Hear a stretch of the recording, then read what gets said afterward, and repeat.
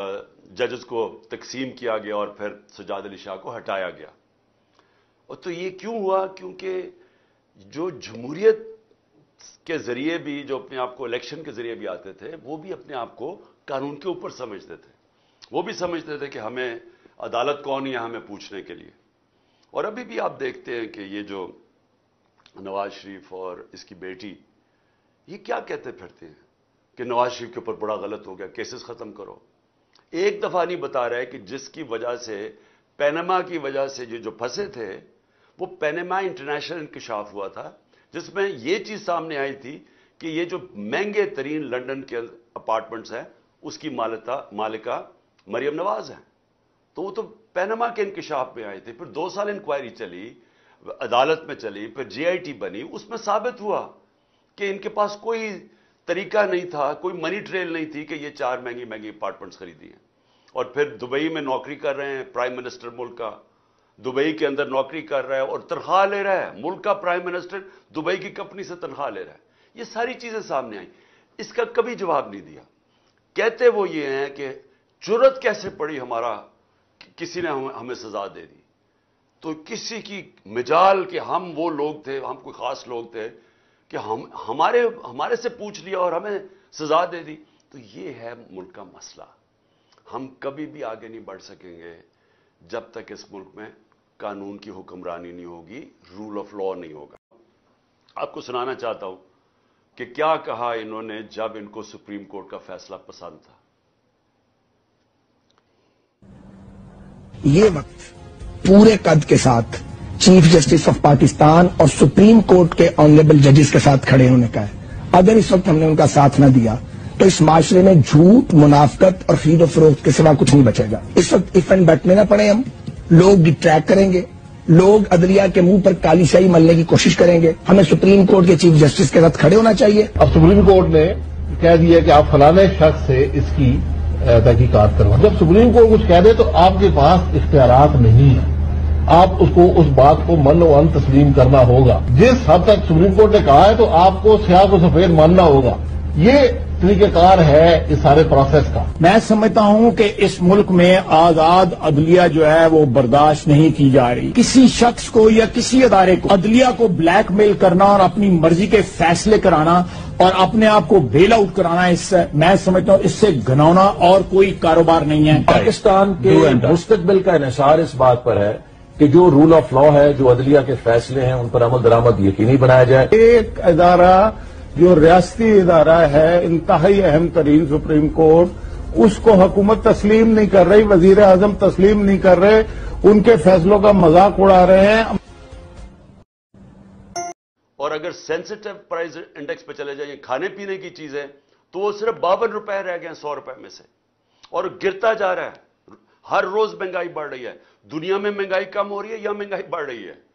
तो इसलिए मैं आज वो सारी कुवतें जो इन चोरों के पीछे बैठी हुई हैं, मैं आप सबको कह रहा हूँ कि आप अभी से समझ जाएँ मुल्क किधर जा रहा है। श्रीलंका के अंदर जब पब्लिक निकली थी, हालात इतने बुरे नहीं थे। आज क्यों नहीं पाकिस्तानी कौम निकल रही? उम्मीद लगा के बैठी हुई है कि इलेक्शंस आएँगे। तो वो इलेक्शंस की इंतज़ार कर रहे हैं कि गुस्सा उनका इलेक्शन में निकलेगा, जिसकी वजह से ये भाग रहे हैं। तो मुझे अपनी स्टैब्लिशमेंट की नहीं समझ आ रही कि आपको इसमें से क्या मिल रहा है। इन चोरों के पीछे लग के जिन्होंने मुल्क को तबाह कर दिया है तो इससे आपको क्या मिल रहा है? कि इनके पास तो कोई अब तरीका ही नहीं है मुल्क को बचाने के लिए। इनके पास तो रोड मैप नहीं है। अक्टूबर तक ये क्यों इंतज़ार कर रहे हैं? क्योंकि उन्होंने और हमें तहरीक इंसाफ को पकड़ दकड़ करनी है, इदारों को हमारे खिलाफ इस्तेमाल करना है। केसेस और करने हैं। अली अमीन को एक महीना पकड़ा, जेलों में फराया किधर से किधर, बखर, फिर इस्लामाबाद, फिर उसको लेके गए, इधर लाहौर लेके आए तशद किया इसके ऊपर, फिर इधर से गया पता नहीं, शिकारपुर। तो क्या हुआ? 20 किलोमीटर लंबा उसको जुलूस लेने आया डीआई खान में। वो अली अमीन कहता है, मैंने कभी इस तरह की अवाम का रवैया ही नहीं देखा। उन्होंने उसको इतना बड़ा हीरो बना दिया। तो क्या फ़र्क पड़ा? क्या यह पकड़ दकड़ से कुछ बदल जाएगा? क्या यह इमरान खान दो दफ़ा मुझे कत्ल करने की कोशिश की? क्या मैं रुक गया हूँ? मैं फिर निकल रहा हूँ। मैं फिर जा रहा हूँ पब्लिक में। मैं फिर जलसे कर रहा हूँ। बुद्ध से मैं जलसे कर रहा हूँ। चौदह तक करूँगा। ये जो जो भी आप समझ रहे हैं कि ये खौफजदा हो के ये एक तहरीक जो लोगों के दिलों में चली गई है, वो रुक जाएगी। चार हज़ार दो सौ जगह पे लोग निकले और मैं आपको अब यकीन दिलाता हूँ कि मेरी जो अगली कॉल होगी, वो इससे ज़्यादा लोग निकलेंगे। और ये ज़रूरी नहीं कि अगर आप इस तरह दबाते रहें लोगों को और पकड़ दकड़ करते रहें तो हम चुप करके भेड़ बकरियों की तरह इसी तरह ही बैठे रहेंगे। हम सिर्फ़ अपनी मुल्क की मायशत देखते हुए, क्योंकि हमने बाहर नहीं भागना। अभी तक मेरी जगह ये दूसरे होते तो बाहर भागे होते बड़ी देर के। हमने यहाँ जीना मरना है। इसलिए मुल्क का सोच। आप ये सोचें कि कैसे हो सकता है कि पहले एक high court justice Babar Sattar वो इजाज़त देते हैं कि जी ये फंडामेंटल राइट है हमारा रैली निकालने का। वो कहता है फंडामेंटल राइट है। रात के दो बजे पुलिस कहती है, नहीं, आप निकाल सकते नहीं निकाल सकते हैं। और किस चीज़ के लिए रैली निकाल रहे हैं? आइन की, अपने आइन की बालादस्ती के लिए रैली निकाल रहे हैं। कोई इंतशार के लिए नहीं निकाल रहे रूल ऑफ़ लॉ के लिए रैली निकाल रहे हैं। इजाज़त ही देते। और इजाज़त ही नहीं सिर्फ़ देते वहाँ आप देखें औरतें, वो बेचारी खड़ी हैं साइड पर उनको पकड़ के पकड़ के जेलों में डाल रहे हैं। सारी दुनिया के सामने मुँह काला करवा रहे हैं पाकिस्तान का।